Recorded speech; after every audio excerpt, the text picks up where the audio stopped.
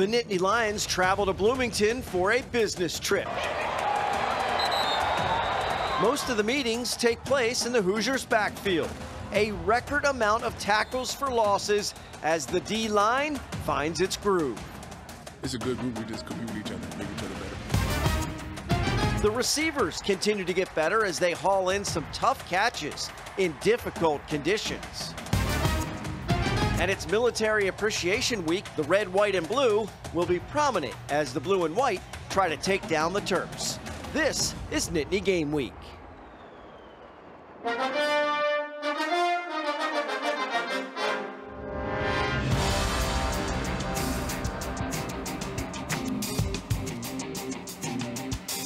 Hello, everyone, and welcome to Nittany Game Week. I'm Todd Sadowski, along with our coaches, Jay Paterno and Tom Bradley. It's always fun to win, of course, but when you travel to Bloomington, pretty much a business trip, and the Nittany Lions handle their business against the Hoosiers to improve to 7 and 2.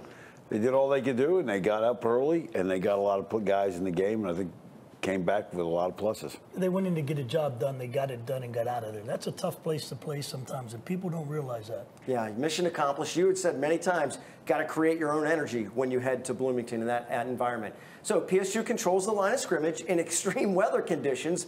Two arms are just as effective as one for the afternoon, and you can describe this receiving unit as sure-handed on a tough day in our opening drive.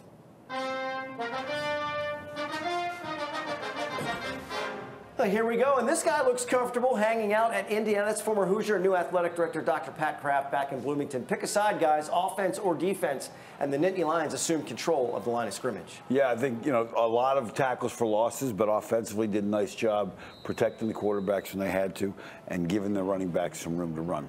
See, I thought the defense set the tone right off the get-go. Early in the game, six tackles for losses, you could just tell where it was going from there. 16 total, Tom, and the defensive line, boy, they just were especially in the backfield for the Hoosiers all day long. Yep. It started off that way early. You could see the push they were getting up front, and you knew it was going to be a long day for Indiana at that point. Yeah, and the pass rush, Indiana, Indiana ended up having to play three different quarterbacks, which is never a good sign. Yeah, not only did they physically dominate, the defensive lineman picked up several keys before Indiana even snaps the ball. The DNs, the offensive tackles, they was looking at us when they were blocking us, so that was a big key for them. And they was going tempo, so you know they wasn't really going on two. They was snapping the ball on the first clap, so that was two keys that we was getting from the DN's uh, perspective. And the pressure leads to tip balls and interceptions, not just tackles for loss. One of those days to remember for both the offensive and defensive linemen. Yeah, quite a lot of young guys got in the game, got in the act this, this week, and I think that's good. You know, when you get into this stretch of the game, um, when you've had some tough games and some of the younger guys haven't played, to get them back in, including Drew Allar, obviously getting him in. A lot of people want to see him. I think it was a productive day all around that's one of the important things having the opportunity to play them that you had the chance to get them in because you're going to need them and as this season keeps rolling along well you got to get in front of the game. They didn't change anything as far as the way they approached it. Sean clifford was going to be the starter all along and if they could get Allar some snaps jay they were going to do so. And once they got in front enough in the third quarter he was able to get some meaningful snaps. Yeah, I think it's it's good to get a quarterback in, but it's also better when he's really playing with house money. When you're up 31-7, you come in, you have the ability to kind of just let it hang out, let it play, get used to the speed of the game, so that if you do have to come in uh, in the future when the game's on the line, you've already kind of got that behind you. All right, Coach said he wants to see Clifford clean up the interceptions, but was complimentary of both QBs overall, he does what he always does, which is to do a great job of man managing the protections, great job of all the checks that we're using in the run game or the find motions and things like that that we do uh, to account for guys. And then Drew got in and got a couple series. Uh, with the ones against the one defense, and then late in the game, it was a bunch of the twos in there against the two defense. So it's kind of hard. You're not really comparing apples to apples. Probably the best case scenario to secure the win and then get Allar into the game when you get him some good, good, meaningful snaps. Another positive sign. No matter which quarterback is throwing the ball, the receivers, and this includes the tight ends, they're really growing into reliable targets. Saw some good catches on a difficult, windy day. It wasn't easy out there to throw it around. No doubt, and some really big catches in some really big situations. Third and long, where you don't make that catch, you're punting into the wind. Um, they came up with some really big clutch catches, which really made the quarterbacks look good too. Plus, there's some YAC yards in there, two Yeah. yards after the catch was great, too. Yeah, and defensively, Tom, when you've got a play covered and a guy makes a catch like Mitchell Tinsley does around or Brenton Strange brings Yeah, it down, don't you hate kind of that? frustrating, don't you just hate that when that happens? Yeah, yeah, I know D coordinators love they that hate stuff. that. Yeah. They hate those great catches. Make the play already, okay? they didn't make, you know, somebody got to make a play. All right, let's get to the scrap metal.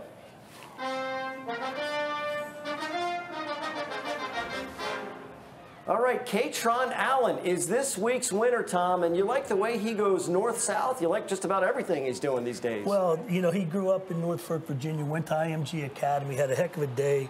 18 carries for 86 yards, two receptions for 72, and three touchdowns. How can you not win the scrap medal this week? Well, Jay, you called it early in the year. You really like the way that this this guy has his running style. He's used in the play in the passing game as well and got a lot of yards. But you really like to see his progress and vision. No question. I think I think from I've said from day one, I think he's ahead of Singleton in terms of reading the blocking schemes with the vision stuff, uh, and that's continued to prove out with the way he's been able to do some things. And the one catch for, for the the long catch was really just a little flip that is essentially a running play. Yeah. Um, and really made the most of that as well. So he's been great. Turned it into a big game. Now the freshman class, and especially the combination of Allen and Singleton, is gaining national attention.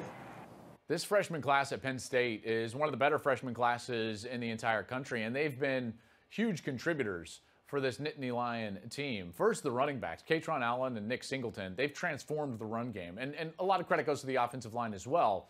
But those two guys have been dynamic carrying the, uh, carrying the ball. The high praise from Joel Klatt. Singleton's a previous winner of the scrap medal, and it's certainly fun to watch them both. Still to come, our scouting report. Not sure we'd go so far to say fear the turtle, but you definitely need to respect their offensive abilities. Our coaches break down both sides of the Terps. Nittany Game Week returns after this. Scrap Metal is sponsored by the We Are In, voted number one game day restaurant in Centre County. Follow us on Facebook and visit thewearein.com or call for dinner or room reservations.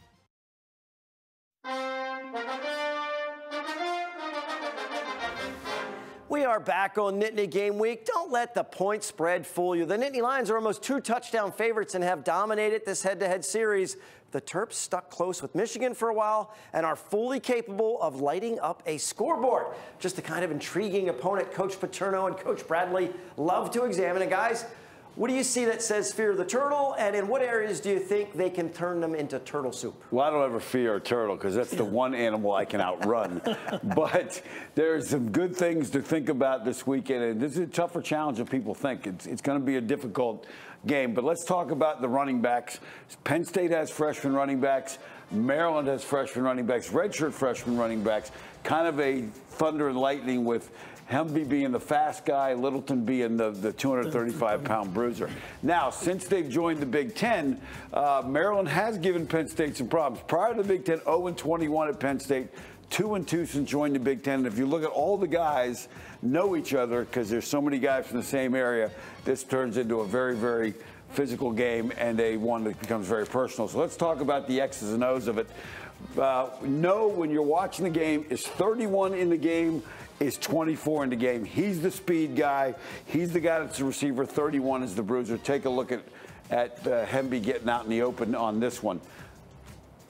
Gets into that hole. You see they do a nice job getting that hole, Tom, and then You can see his speed right there. And he's got great vision, too, when you watch him. Yeah, he makes the right cut and off he goes. Now let's talk about what they do off that run game. Now they come at you with Tom's favorite, the It's dreaded, not my the dreaded three-level play action pass. I'm not a fan yes. of this three-level flood. Good hard fake front side, deep clear, one to two to three. You had to ruin my day, didn't you? Yes. And this is different because they bring the backside guy, Tom. Yes, they do, which makes it even harder. Yeah, he does a nice job keeping his eyes downfield and find that guy. Now you come off that, they've got a little triple option type thing going where now they're going to bring the wide out across to get all these guys running that way. They're going to bring tight end who's really more of a receiver. And now the tailbacks out here, they read this guy, Tom, and now you know that gives you fits. What does give you fits the thing that you got to remember that motion's a little tricky at times because that's just trying to create some bad eyes. That's just a distraction going across and can create some problems because when you're doing your coverage, who's got who now too? Yeah, if you go to the next one, but that creates a lot of traffic for you. Go to the next one now.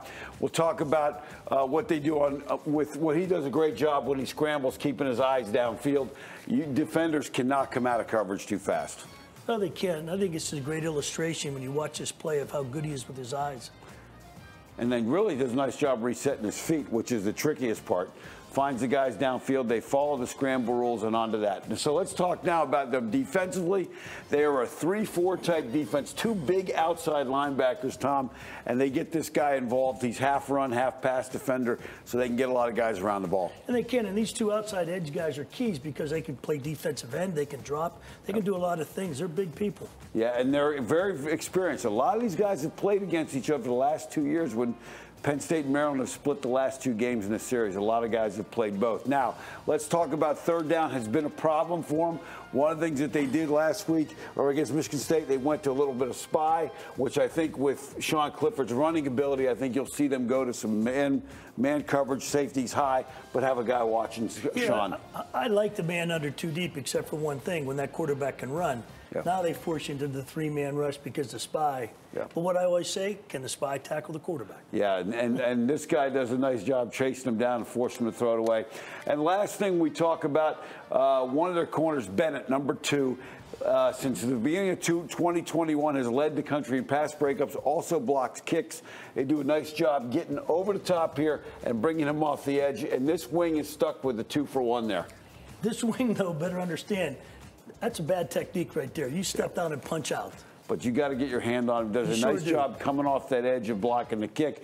And let's hope Penn State's kicking a lot of PATs on Saturday and that none of them get blocked in. Todd, nothing ever blocks you from greatness. No, thank you very much. I appreciate that. and Jake Pinegar has actually been pretty good. So the kicking game kind of straightened itself out with Penn State if they need it against the Terps. All right, definitely a dangerous offensive team coming to Happy Valley. It's almost the time of the show when we catch up with our Impact interview guest. Viewers still buzzing about our interview from last episode with Steelers head coach Mike Tomlin. If you missed this bit of info, one of Coach Tomlin's favorite players growing up in the Tidewater area of Virginia is a former Nittany Lions running back. We're not trying to be some mystical guy that's that's not familiar to us or in our communities. We're we're trying to be like the guy that's just a few years older than us. In my case, it was guys like DJ Dozier um, who really made us want to be want to be Nittany Lions and want to be running backs. Yeah, we spent an awesome 15 minutes with Coach Tomlin talking about college football and the people that influenced him in his football career. Make sure you check out the entire interview at NittanyGameWeek.com. And you know what? Coach got us thinking. We should call up DJ Dozier as our next Impact interview, and that's exactly what we did. We'll ask the former Nittany Lion about Coach Tomlin's comments and discuss his past as a two-sport star when we come back on Nittany Game Week. Impact Interview is sponsored by the Pocono Mountains, where small town charm meets big adventures. Book your trip today by visiting PoconoMountains.com.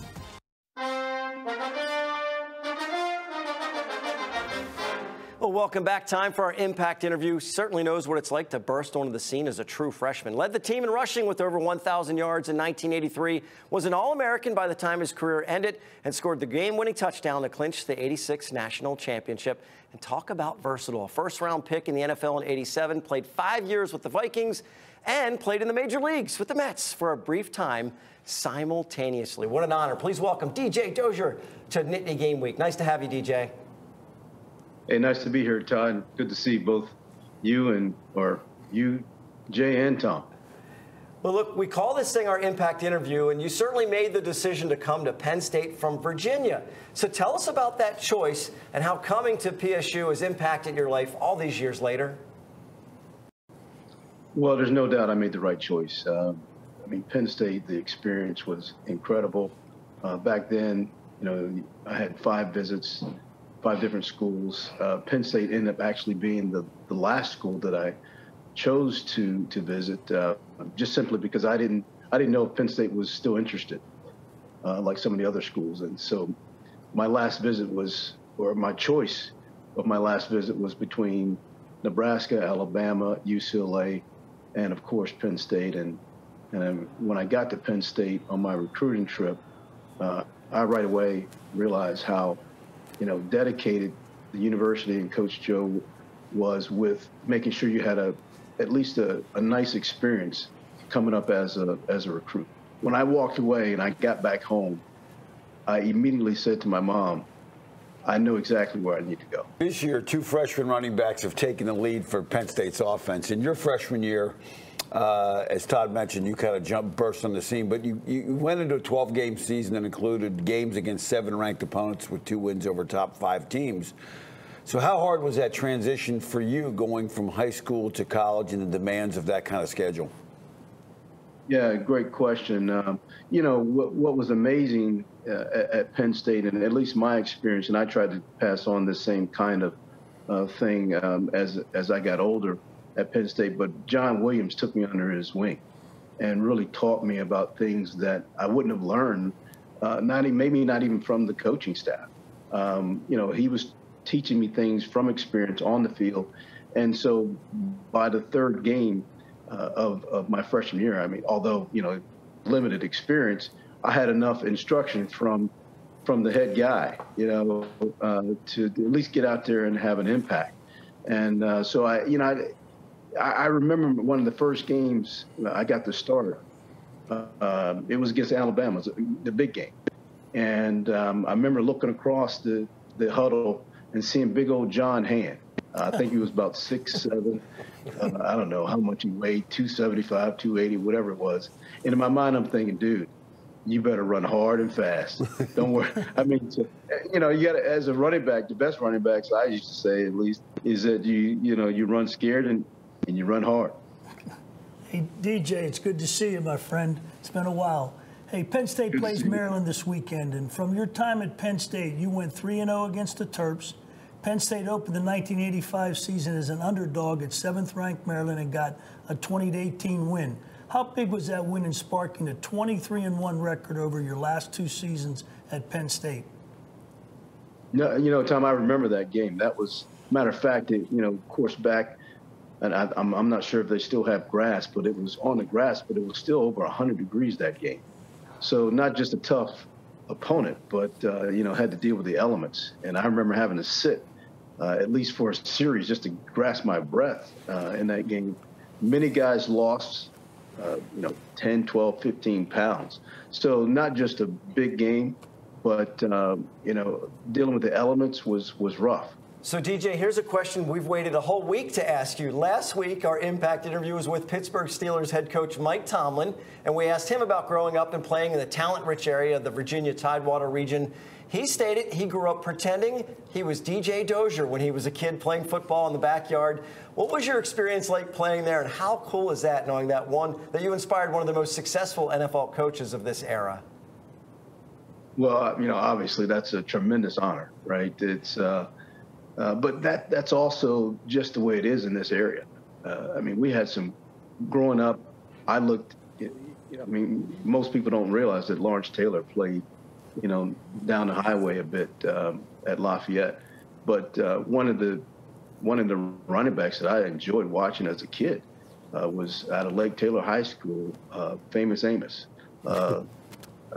Amos Lawrence, and you know I think you guys would remember that name. Yep. None of the young guys would, right? uh, you know, that, it's a, it's an honor for Coach Tomlin to say what he said. Uh, uh, tremendous, but uh, you know, it's just it's just a you know a great star beside uh, this area. What a treat to catch up with two sports star DJ Dozier. Not many guys can say they have NFL and MLB experience. We're going to step aside for the TV show to take a break. We will continue our interview with DJ.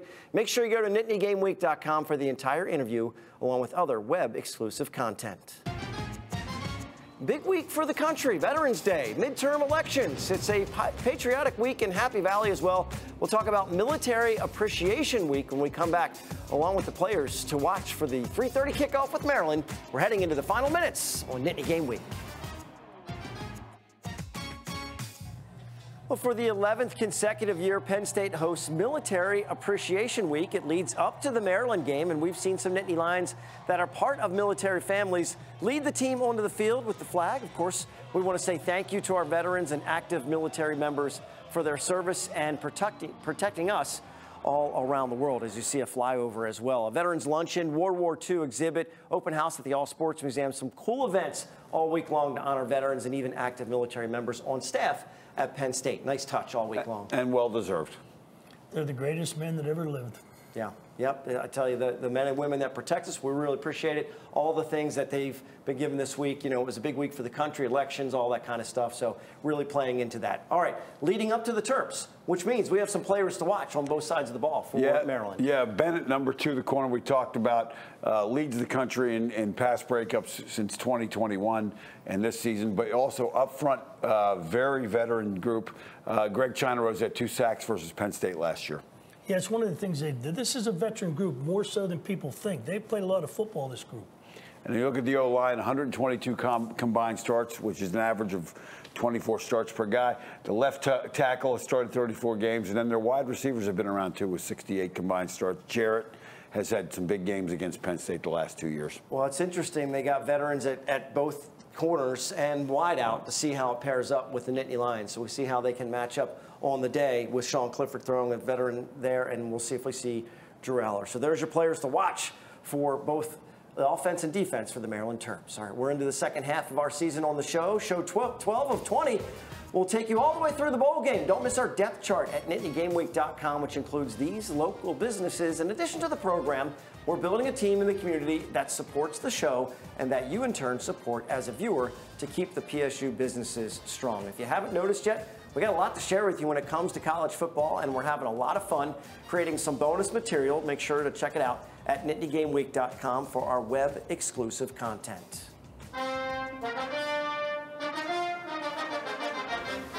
Seven and two, trying to go eight and two and climb another notch or two in the college football playoff rankings. Currently 14th, heading into the matchup with the Terps. We finished with some pride picks. Two more home games to go. So show us your spirit. For Jay and Tom, I'm Todd. Thanks so much for watching Nittany Game Week. We'll see you next time.